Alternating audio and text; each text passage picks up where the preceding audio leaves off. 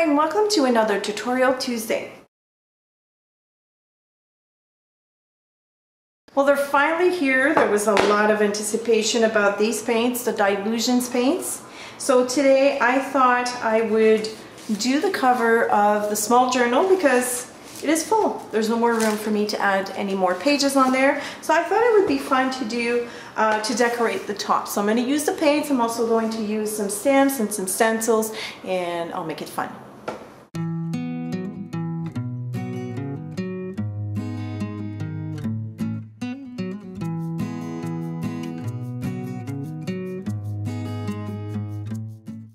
Okay, so I feel like I need to preface this by saying that the Dylusions paints react differently to paper than on gesso, and they are semi-translucent. So because I was doing a book cover and it is brown, I needed to cover it with gesso. So just keep that in mind when you're using the Dylusions paints. They're absolutely awesome on paper. I, I love them. I had the pleasure of swatching them on paper. Um, but on a gessoed surface, you have to probably layer them twice or, or add two layers um, if you want like a very opaque coverage and not so much on paper. So also make sure that when you do your book cover, because it has grooves on the spine, make sure that you add gesso on inside the grooves as well. You have to work around the elastic band, but it's not a big deal. It's doable. The gesso if you don't apply too much of a thick coat, it will dry pretty fast and the Dylusions paints dry fast anyways. Okay, so I have to confess that I've been watching Dyan's videos on the Dylusions paints. I think she has two or three. There are two different methods to apply them. One is the uh, baby wipe, which is the method that I prefer, but it works better on paper. I, I still did it on gesso and it worked quite well. But if you go over a certain area and the paint hasn't dried yet, you will remove uh, that paint. That doesn't happen on paper. So something also to consider. I'm going to add bubblegum uh, pink, uh, fresh lime, and uh, the orange is squeezed orange to uh, the cover and I wanted something patchy. I did not want to have something too blendy blendy. That's my term.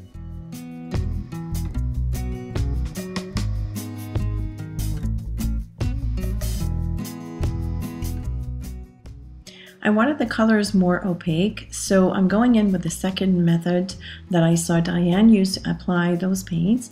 And she uses the inking tool with the round uh, sponges. This is the, the round applicator, I should have said. And I love how I get that gorgeous color uh, by blending the orange and the pink.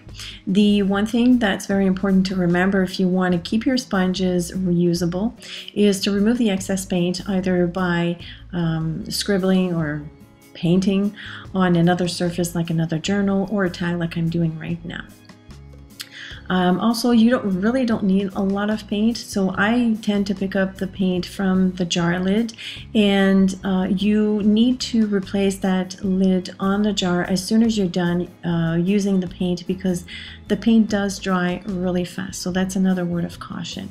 But I like the format because it's got a wide opening, so you can actually um, put or use it with the sponge directly inside the jar if you wish to do so.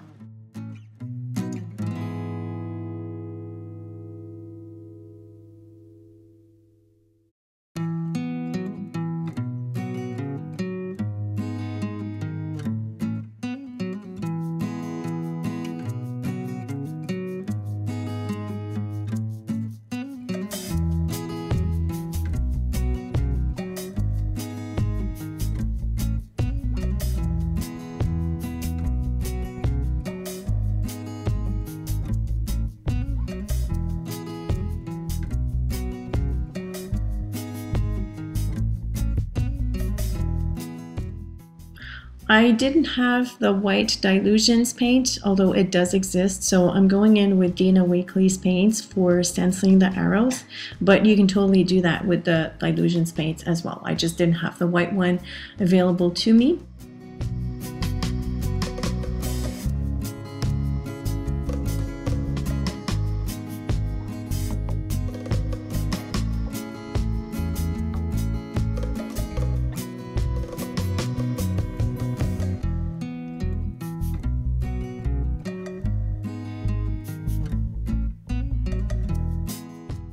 Another cool characteristics of the paint that I love is that you can actually spray Dylusions sprays right over the Dylusions paint and it will stay there. It will dry very beautifully. It will not slide off as it tends to do sometimes with other acrylic paint. So that's one cool feature as well.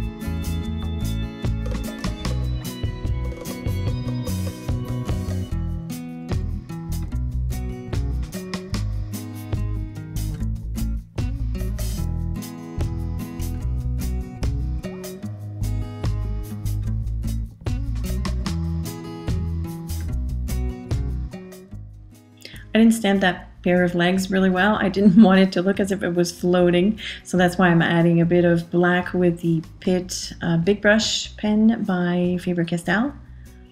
And now I'm going to concentrate on the cover. Now remember that when you're doing the cover, you have to flip the elastic around. So make sure that what is underneath or the back cover is dry.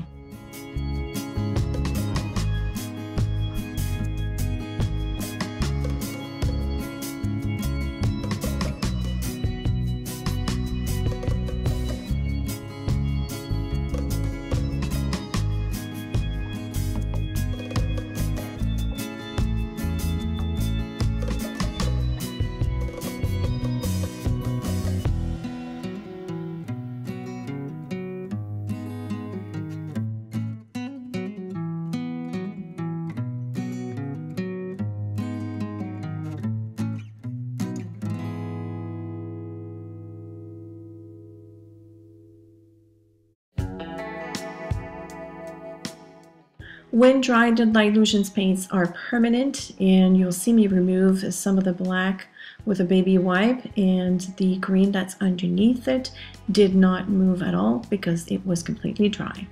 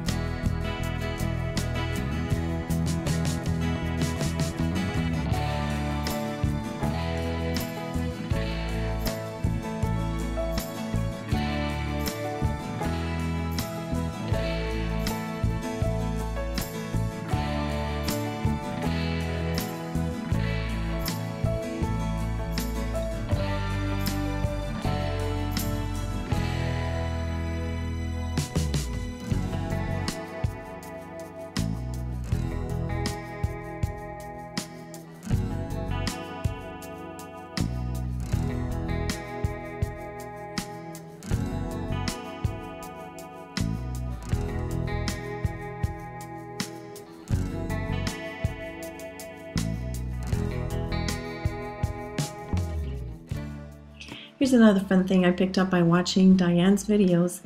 I made dots with the foam applicator and instead of stamping with it, I actually swirled it around so that I created that nice soft edge on each of the circles.